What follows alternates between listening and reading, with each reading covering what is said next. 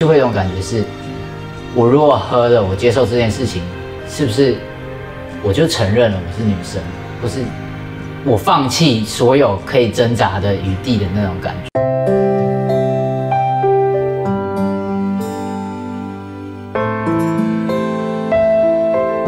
这个社会充满着各种性别框架，男生不能哭，女生不能太粗鲁。大人都会说你是女生，你要有气质。学校规定你要穿裙子，要留长头发，甚至隔壁早餐店的阿姨也都每天叫我小美女、小美女的。在生活中，每天都会有人不停的提醒你应该要是什么样子。我是阿塔男孩 David，我是一位摄影师、剪辑师、Podcaster，也是一位女跨男的跨性别者。这是我的跨旅程。很小的时候，就是我现在回想起来，大概从幼稚园之前吧，就是我有记忆以来，然后我就觉得说自己很像不是很喜欢这样子的身体，就觉得说我想要跟别的小男生有一样那样子被对待的方式，因为我小时候是我外公外婆带大的，他们就会说我一定要穿粉红色的衣服，然后不能穿蓝色，不能穿绿色的衣服。然后不可以玩玩具车车或者金刚，只能玩芭比娃娃这类的。所以我小时候拿到那些玩具的时候，我第一件事情就是直接把那个芭比娃娃头先拔掉。就是我觉得这这算是对我自己的一种反抗的方式，因为小时候我还不懂什么叫做跨性别，什么叫做我觉得这个这个身体不是我的身体，或是我想要是另外一个性别。所以那个时候，我我没办法好好的表达这件事情，我就只能用一些比较奇怪、比较小孩子气的方式去表达我的抗议。他完全就把它解体了，把那个车都解体了。他说：“我才不喜欢这个，这不好玩。”然后他完全不要玩女生的东西。然后那阿婆就讲说：“为什么你女生都不玩这个？爸，你要玩什么？”他说：“车子很好玩呐，宝剑很好玩呐，为什么玩这个？”他说：“可是你是女生，你就要玩娃娃。”。”他说：“我不要玩这个，这不好玩。”对他不喜欢，对，大人都会说，就是男生就应该要玩金刚，就应该要玩车子，女生就应该要玩芭比娃娃，要玩扮家家酒。所以，既然我自己的认同是男生，我就会想要做这件事情。而且更多一点的是，我希望被身边的人、被大人们认同，说我是男生，所以我会去选那些事情做。就例如说，可能在在幼稚园里面，然后。要要搬比较大的东西的时候，老师会说小啊男生来帮忙搬东西，去搬菜什么的，啊我就会举手，然后冲第一个去做这件事情。我不一定是真的很想做这件事情，或是我觉得我力气超大什么的，我只是想要被认同。哦，你也是一个男生，所以那个时候会很尽力的、很用尽全力的把自己塞进这个框架里面，属于男生的那个框框里面。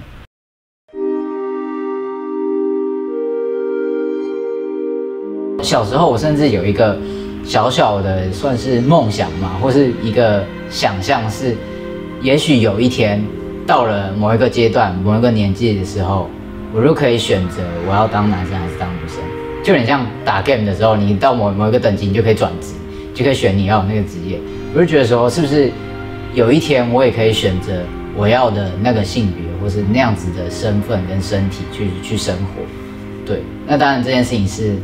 不可能会达成的，所以到青春期的时候，就真的是算是我人生中最最大的冲击，跟我觉得最最难受的一段时间。可能跟别人的相处上，跟同学之间，或者说大人怎么对我，其实在那个时候就可以有非常明显的，就是我就是完完全全被当成女生这样子对待。就特地去中药房拿中药，然后买了那个鸡要炖中转骨汤给他。他说我不要啊，他就是很叛逆。我说你不会排斥中药，以前小时候你吃那个中药粉什么的，你也不会怎么样。那为什么你对这个转骨汤你这么这么不喜欢？它可以让你长大，可以让你长高的。他说我不要长大，他说我这样就好啦。他就是不肯，他这一口都不喝。我真的都很谢谢他们，然后我也。就是我知道他们很爱我，可是我那个时候就是非常非常抗拒喝转骨汤，因为他们就说你喝这个汤就是因为你你现在有月经了，所以你是一个女生，所以你要喝这个东西是为你好。所以对我来讲，会不会就会有种感觉是，我如果喝了，我接受这件事情，是不是我就承认了我是女生，不是我放弃所有可以挣扎的余地的那种感觉？他就是不喜欢留长头发，哎，他他是幼幼儿园就幼稚园长头哦发，对，因为阿婆带他，阿婆在菜园忙，然后他觉得留长头发洗很久，所以就把它剪短。他剪短又非常开心，然后我就说为什么剪这么短？他说这样洗头很方便，很舒服啊。他觉得很喜欢短短头发，他说很喜欢留短头发。我说那等你长大再帮你留长头发，再帮你绑辫子。他说我不要留长头发，我要短头发比较舒服。对，那是第一次，我觉得他嗯，为什么女生不喜欢留长头发？胸部这件事情真的是从它长出来的那一刻，我就觉得说我一定要把它切掉，就我一定要它消失。但是小时候不知道有平胸手术这件事情，我真的是试过拿一些绷带啊，或者是拿保鲜膜，就在我还不知道有束胸这个东西之前，就拿一些奇奇怪怪的东西缠在身体上。那当然一定对身体会有负担。那个时候就是真的非常非常的讨厌自己的身体，因为我觉得这就不是我，对。所以后来知道有平胸手术之后，因为那个时候我还没有满二十岁，所以我如果要动手术的话，我一定要就是父母的同意。所以我就那个时候就跟他们出柜。他传的很长很长很长，而且是晚上，已经很晚，我们准备睡觉了。然后看完以后，我就我有点怀疑，什么叫做同志，什么又是跨性别，不知道。到那时候，还是觉得说他应该还是会变回来吧。虽然觉得说，嗯，他是跨性别，嗯，我知道他不一样，但是就觉得抱一点希望，说他会再变回来的感觉。我不知道他们会不会接受我，或是我很怕他们可能不喜欢这样，我会不会讨厌、会排斥？但是另一方面又会觉得很愧疚，觉得自己对不起他们，会觉得说，呃，我这么的怪，这么的不正常，这么的跟别人不一样，就是觉得好像会很对不起他们，我没有成为一个好女儿的感觉。那时候我们心里也会觉得很难过，为什么我们的小孩子要经过这一些？妈妈她她是比较直接的说，是不是她的问题？对，我怀孕的这是怀孕是什么时候？是不是胎教有什么没有做好？嗯，然后变成让他要要经过这一些，像这种过程我也有啦，但是但是。对呀、我们两个讨论一下就就好啦，啊也不会说拿出来去跟他们讲是，你怎么样怎么样，反正你都你都决定好了，你就做要这样子做，我们就支持你这样子。但是你要想清楚，呃，我们也会把我们的看法跟你讲，那你权衡了以后，那个东西是你想要的，你就去做，就这样子。所以所以表表面看起来就是很平和啊，啊，只是说夜深人静的时候，我们想到这一些就。哎、也是有这样子的一个小过程啊。哎呀，后来是到隔天的时候，隔天早上，他们回了一句话，虽然呃他们不知道什么是跨性别，他们也不知道为什么会这样，或是应该要怎么做，但是因为我是他们的孩子，所以不管我想要做什么决定，他们都会支持。嗯就说哎，真的耶，我们讲的就是你讲的没错，他真的就是喜欢女生耶。但是后来发现不一样哦，他不是单纯的喜欢女生，他是男生去喜欢女生，不是女生喜欢女生。我会那时候觉得这不是很可怜吗？我的第一个想法是他很可怜，因为跨性别，因为同志的圈子就很小，他认识的人不多，可是跨性别就更少。他认识的人会更少，他就没有朋友。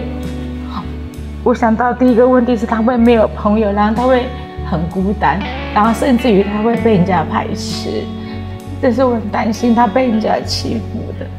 我在想，我回想他国小会这么样的。如果你也想成为下一位爆红创作者，请打开下方资讯栏链接，一起来投稿吧。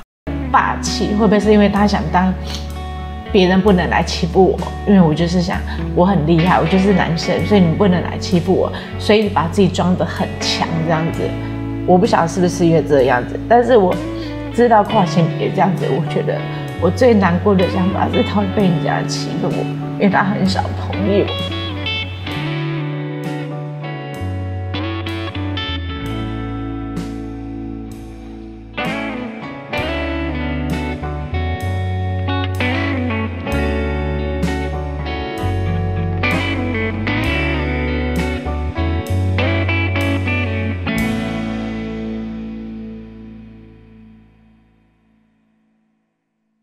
This is my second week on T. Third week on T. First month on T. 6, 7, 14, 15, 16, 17 week on T. 18, 19, 20, 23, 24, 25, 32nd, 35, 36, 37, 38, 39, 46, 47, 48, 49, 50, 51st, first year on T. 以前我都是进女厕，虽然以前 呃，可能还是打扮比较阳刚一点点。那个时候，即使有有些时候进女厕，还是会被会被一些正义的大妈说：“哦，你走错喽。”这样，然后就把我请出去。但那个时候，呃，我的声音就比较细，就是然后体态也比较是女生，所以也不会有人多讲什么。可是到我大概用药一年之后，我开始整个人看起来就是整个外表都很男生之后，我就不太敢再走进女厕。但是这个时候，我又会自己有一个心理的坎过不去，就是我也不太敢进男厕，那个感觉有点像是，我会觉得自己是不是冒牌的，我是不是不够男生，我是不是没有那个资格可以进到那个地方，也会担心说，如果我进去，然后被别人发现，或是被别人问问起来说你怎么在这的时候，我会不知道要怎么怎么应答。甚至有可能我要在大庭广众之下出柜，就是因为你要解释这个情况，所以脑袋会有很多很多的小剧场。我大概花了好几个月的时间才鼓起勇气走进男厕。这个转变倒不是说因为呃有一些生理上的变化，所以我喜欢这个身体而不喜欢以前那个身体。我觉得比较像是我现在越来越可以自己认同自己。不需要任何人来肯定我，不需要旁边的人说你就是男生啊，你你不需要担心什么。我现在就是可以这样子告诉我自己，跨性别这件事情对他来讲就一点都没有什么特别的，他就只是跨性别，他也是人，跟别人没有什么不一样。我觉得他可以很很坦诚的讲这件事情，没有什么说嗯不好意思讲，或者是不敢讲，或者是怕人家怎么样，他完全没有这样子。所以我看了以后觉得，我会觉得很感动。而且他还敢开 YouTube，我觉得他好强哦！我把他全部都看完了，你们都看完了。对，有时候，有时候休休息，中午休息时间这样看，然后看他会这样偷偷的掉眼泪。我想说：“老师你在偷哭，你干嘛哭？”我说：“没什么事，我看到很感动的事情。”对，对，会会有这样的感觉。嗯，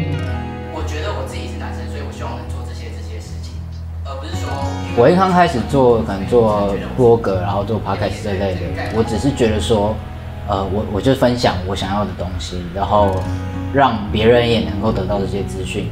但是，一直到现在已经一年多了，我慢慢的在这个过程中，我觉得收获最多的反而是我自己。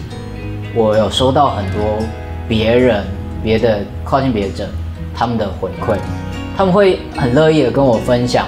他们自己的心得想法，甚至是他们自己的困境，那我也许可以帮助他们解决，也许我也可以把这东西再抛出来，让更多人一起去讨论。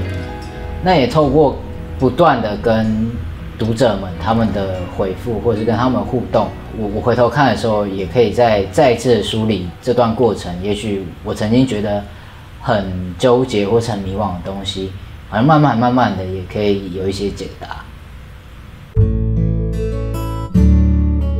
我可能比较乐观哦，我是觉得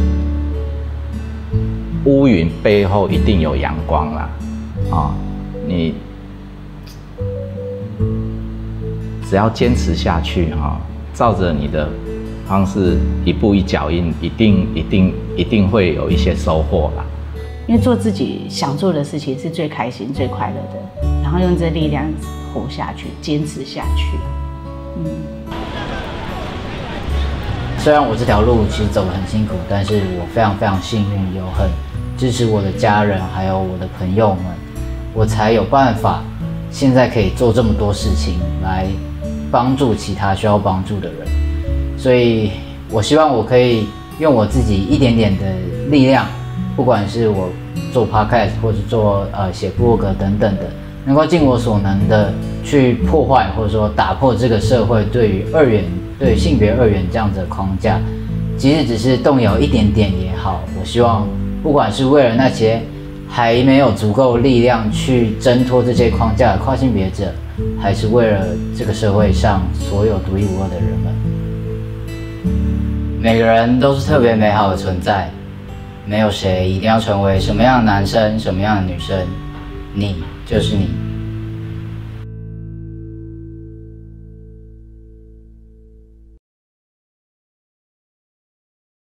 Hello，大家好，我是阿塔男孩 David，欢迎收听今天第十集的节目啦。那在第八集的时候呢，有跟大家稍微聊到过 HRT 到底要怎么样开始，要先去看医生，然后你要去呃拿找荷尔蒙医生，然后找他们拿药等等等。等的一个步骤，那今天这集呢，就要跟大家比较深入的来聊一下 HRD 到底会对你的身体